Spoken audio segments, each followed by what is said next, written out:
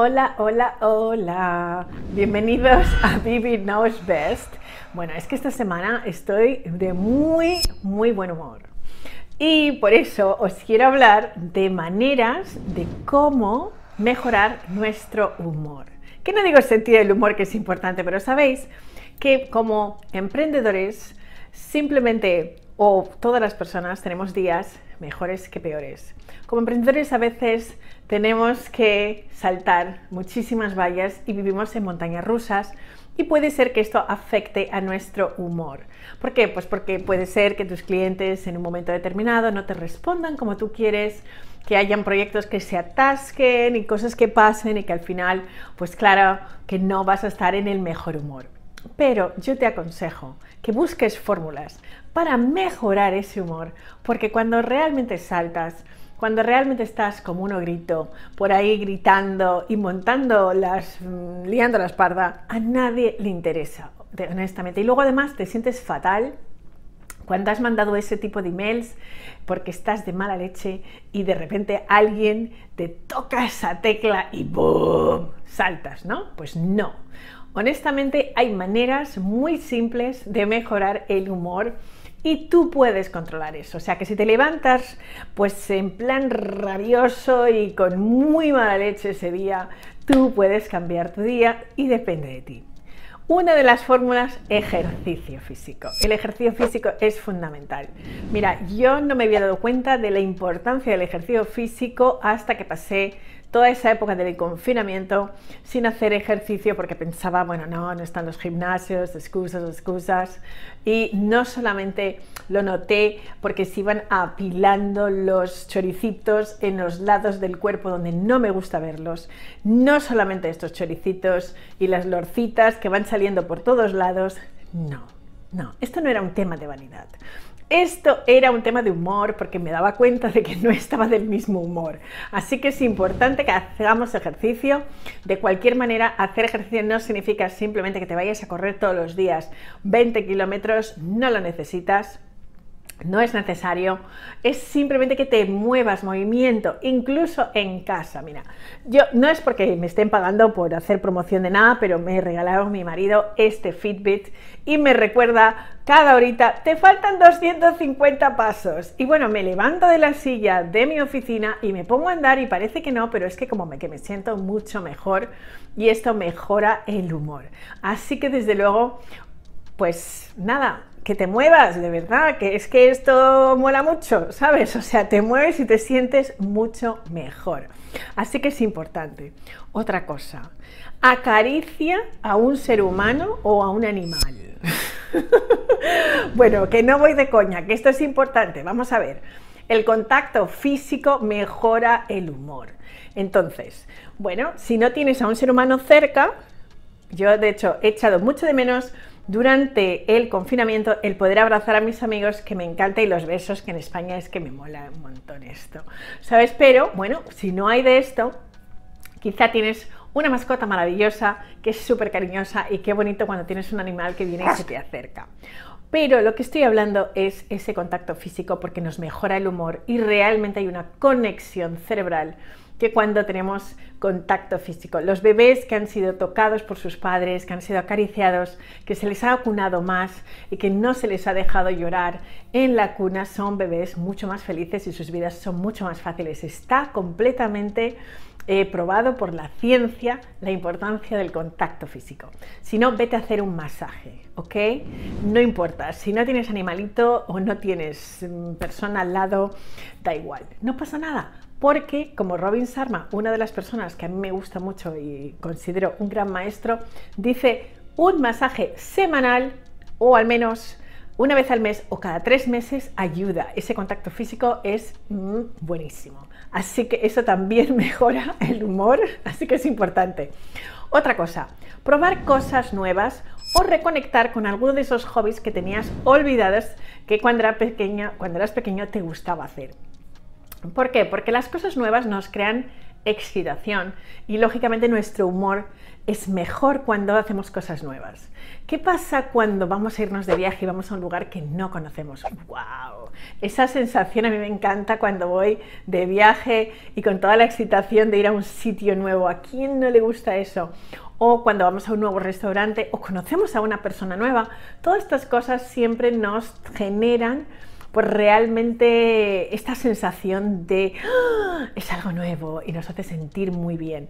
Aprender un nuevo idioma, eh, cualquier cosa que sea algo nuevo, hacer un nuevo deporte que no has probado nunca, todo esto funciona. Y si no, reconectar con cosas que no hacías antes.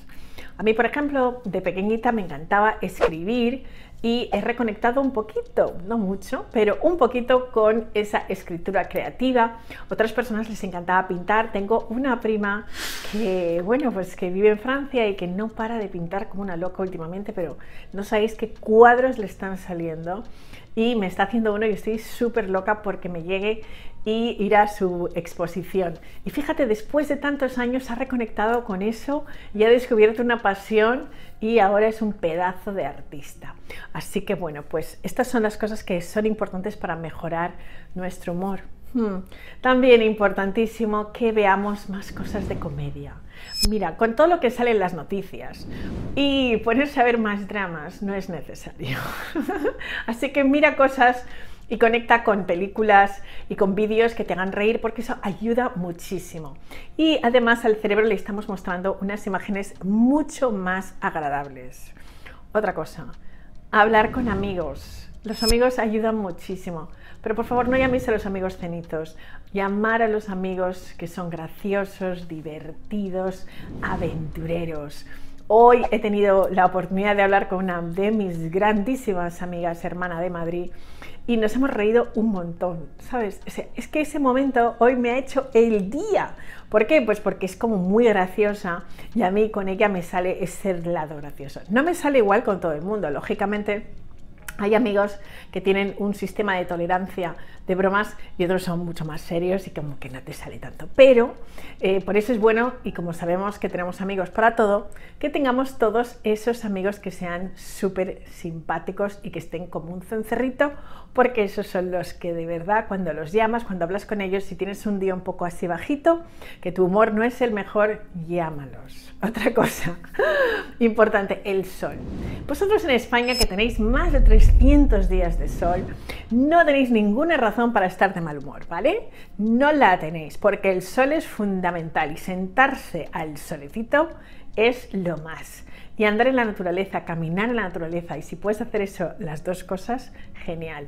Yo, como vivo en Nueva York, pues a veces me tengo que acercar a la ventana cuando sale el sol y me pongo ahí, pues como un gatito a que me dé el sol con la panza arriba, pero es importante tener vitamina D porque eso nos va a ayudar muchísimo a mejorar nuestro humor. Otra cosa es tomarse un descansito de las redes sociales.